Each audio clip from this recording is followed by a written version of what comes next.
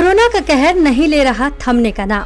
जिसको देखते हुए राष्ट्रीय राजधानी दिल्ली में गुरुवार से नई टेस्टिंग तकनीक रैपिड एंटीजन टेस्ट के ज़रिए कोरोना वायरस की जाँच शुरू कर दी गई है।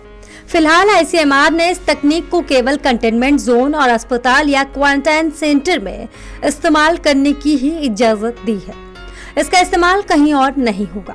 आपको बता दें कि 30 मई को द्वारका सेक्टर चार के रत्नाकर अपार्टमेंट में तीन कोरोना पॉजिटिव मामले सामने आने के बाद कंटेनमेंट जोन बनाया गया था।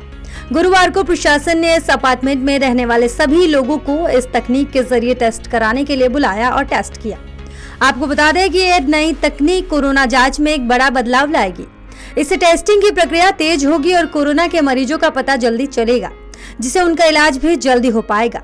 ये टेस्टिंग इसलिए खास है क्योंकि आमतौर पर कोरोना टेस्ट की रिपोर्ट एक से दो दिनों में आती है। जबकि इस तकनीक में 15 से 30 मिनट के अंदर नतीजा आ जाता है। इस नई टेस्टिंग तकनीक से अगर किसी व्यक्ति की रिपोर्ट नेगेटिव आती है तो उसकी पुष्टि आरटीपीसी टेस्ट से की जाती है। अगर कोई शख्स पॉजिटिव आता है तो उसे पॉजिटिव मान लिया जाता है।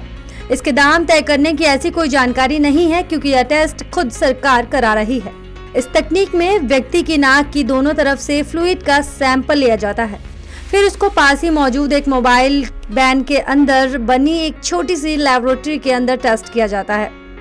अगर टेस्टिंग स्ट्रिप पर एक लाइन आती है तो इसका मतलब नेगेटिव होता है, लेकिन उसको पुख्ता तौर पर नेगेटिव नहीं माना जा सकता। और कंफर्म करने के लिए आरटीपीसीआर टेस्ट ज़रूरी होता है। अगर दो लाल लकीर दिखाई देती है तो इसका मतलब व्यक्ति पॉजिटिव है, जिसको पुख्ता तौर पर पॉजिटिव मान लिया जाएगा। लेकिन अगर कोई लकीर नहीं देखती है तो इसका मतलब टेस्ट बेनतीजा है। इस तकनीक में टेस्ट का नतीजा 15 से 30 मिनट के अंदर आ जाता है।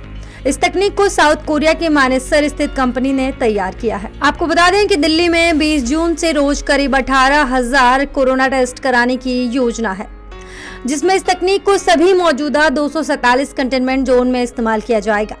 केंद्रीय गृह मंत्रालय के निर्देश के बाद दिल्ली आपदा प्रबंधन प्राधिकरण इस तकनीक के ज़रिए किए जाने वाले टेस्ट के लिए पूरा शेड्यूल तैयार कर रहा है। यानी कब, कहाँ, कितने टेस्ट कराए जाने का लक्ष्य है, यह तय किया जा रहा है। ऐसे में देखना यह है कि ये तकनीक कितनी सफल रहती है।